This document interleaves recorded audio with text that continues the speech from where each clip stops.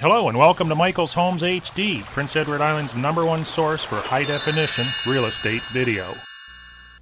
Hello and welcome to Prince Edward Island's Real Estate Super Channel. I'm your host, Michael Poczynek with Century 21 Northumberland, your high definition real estate agent, marketing your properties socially and globally. Today, I'm going to do something totally different. We're going to talk about home inspectors and home inspections.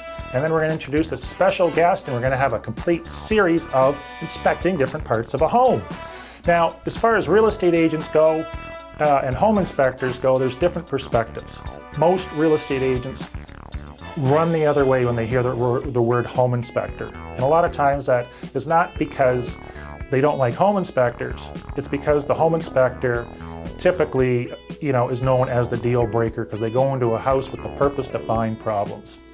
Myself personally, I absolutely recommend home inspectors 100% of the time. I think if you are buying a home, you should absolutely get a home inspection done.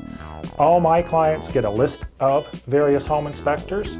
In PEI, I use Gerald Adams a lot of times. I use a number of others. I really like Gerald because he has about 30 years of building experience. So that's really important to me. So, without delay, let's meet Gerald. Hi, my name is Gerald Adams from Inspector Homes Home Inspections. I'm here today to tell you a little bit about home inspections and how they work. I'm a member with International Association, Home Inspection Association and Brookfield Relocation Services.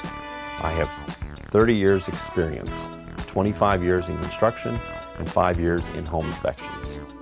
I have been trained from Carson Dunlop and Associates, one of the leading home inspection training associations in Canada. My reports come with 150 to 200 pictures with recommendations and solutions. My services are island-wide. Well, let's go do a home inspection.